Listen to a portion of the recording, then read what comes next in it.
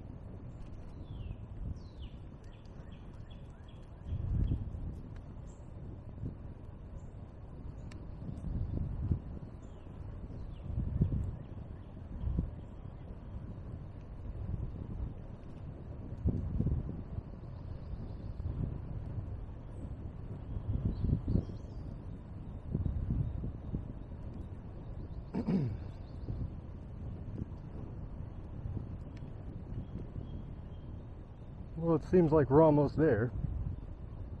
Thanks for watching the entire video. That's impressive. Not a lot of people can watch through an entire hour of silent bicycling. But I hope you enjoyed this content. If you did, like and subscribe. You know what to do. I'm gonna. Whoop, excuse me.